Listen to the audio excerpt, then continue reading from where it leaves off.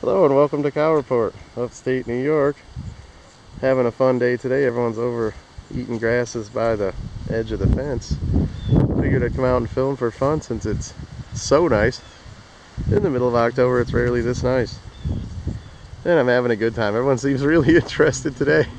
They're not afraid of this camera because it's a, it's a quiet sort of black camera that they can't really see with lights on and stuff. I'm trying to work on ones that don't freak them out make them come over instead.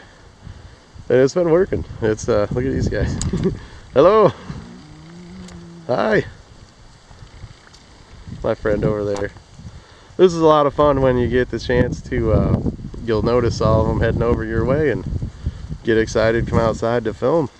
Look out everybody. Hello. Hi guys. Zoom out. Uh, Look at how much fun this is though.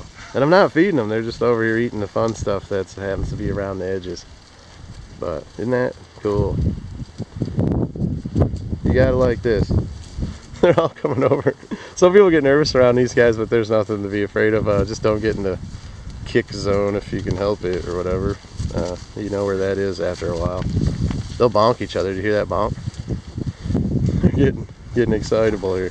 There's my favorite right there. Uh, this one with the awesome markings is the coolest. Uh, always so friendly, all of them.